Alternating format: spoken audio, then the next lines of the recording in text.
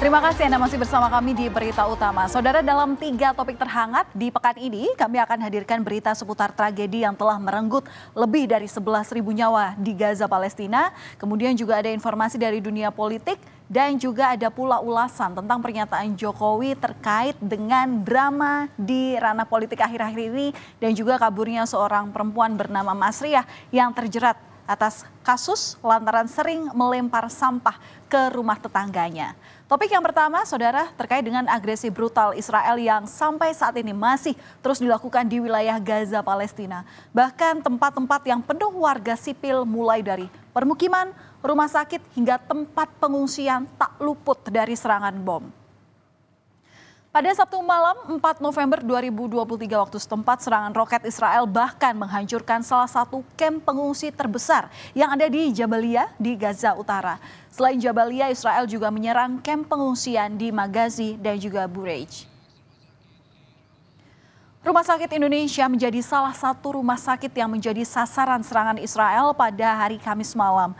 Militer Israel setidaknya telah membombardir enam rumah sakit di Gaza Utara dan kota Gaza, termasuk Rumah Sakit Indonesia. Dua rumah sakit di antaranya merupakan rumah sakit anak-anak.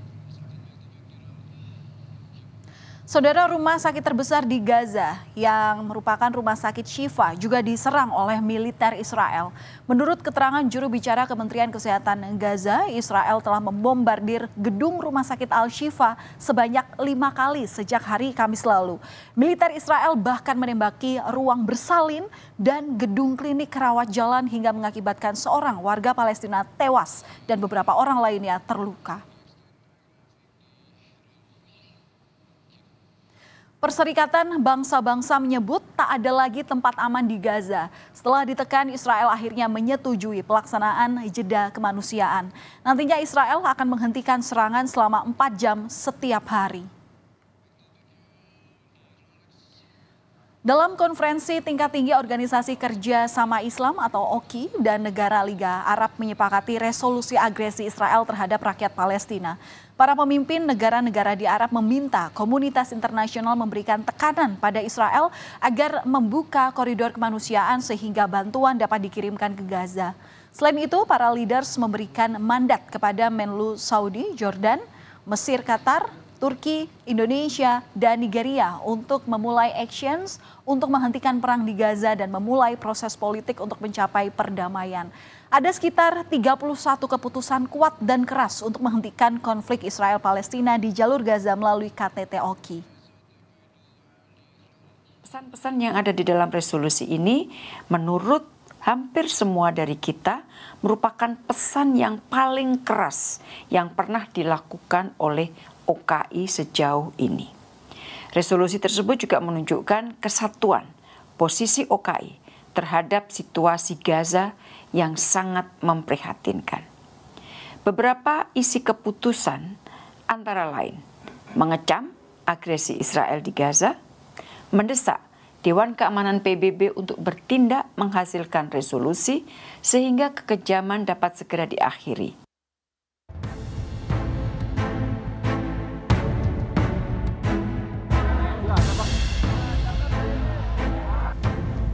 terlalu banyak dramanya.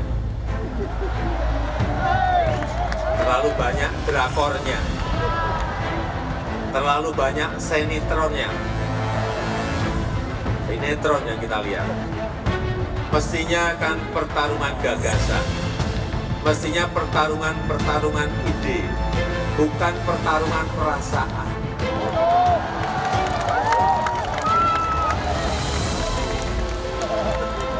Kalau yang terjadi pertarungan perasaan, repot semua kita.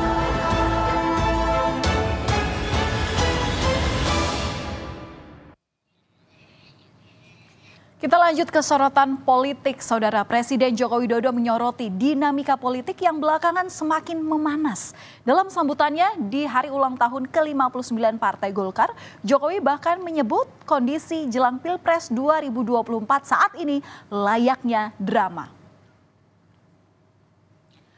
Kontroversi perihal putusan Mahkamah Konstitusi terkait gugatan syarat batas usia calon presiden dan calon wakil presiden adalah satu di antara cerita yang menyita perhatian publik.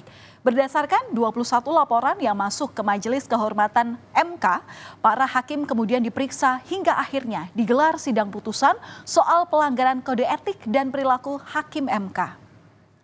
Dan Salah satu putusan dalam sidang MKMK yakni memberhentikan Anwar Usman dari jabatan sebagai Ketua Mahkamah Konstitusi. Ketua MKMK saat itu menyebut Anwar terbukti melakukan pelanggaran berat terhadap kode etik dan perilaku hakim konstitusi. Namun saudara, putusan Majelis Kehormatan MK terhadap para hakim konstitusi tak berpengaruh terhadap putusan dari sidang atas perkara-perkara sebelumnya. Kalau bicara soal drama yang satu ini juga layaknya sinetron dengan beberapa episode yang tak kunjung selesai. Ya, persoalan atas status wali kota Solo Gibran Raka Buming Raka yang sempat menggantung lantaran tak kunjung mengembalikan kartu tanda anggota PDIP meski disebut sudah pamit dengan posisinya yang saat ini sebagai bacawa pres Prabowo Subianto.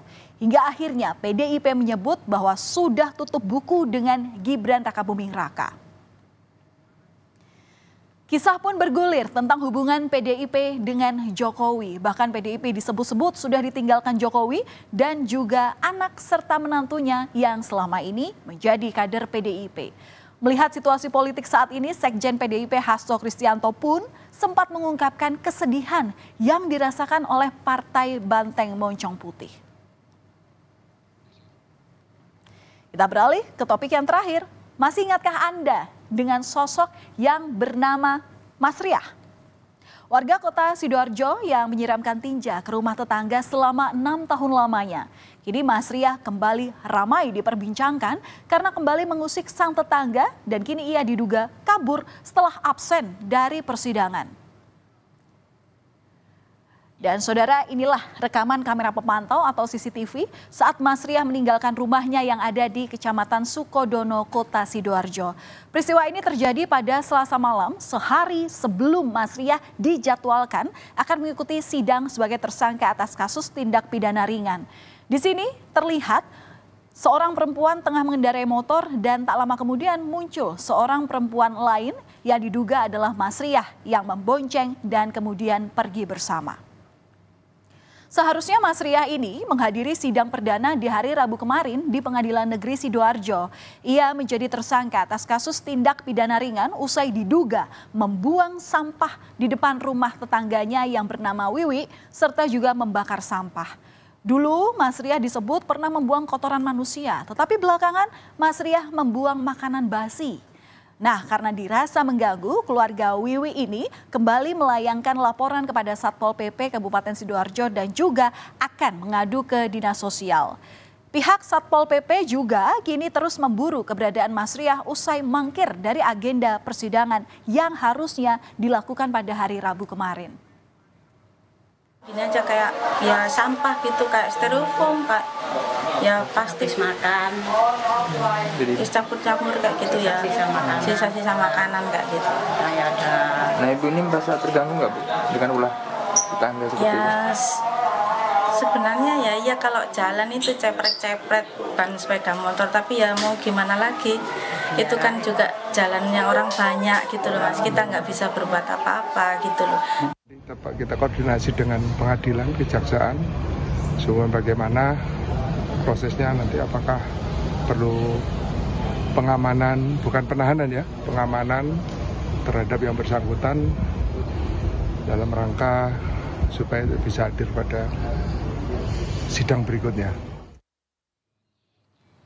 Bulan Mei lalu, Mas Riah juga sempat diperkarakan karena kerap membuang berbagai macam kotoran, termasuk kotoran manusia ke rumah Wiwi sejak tahun 2017. Sementara pihak Mas Riah menyangkal telah membuang kotoran ke rumah Wiwi ini.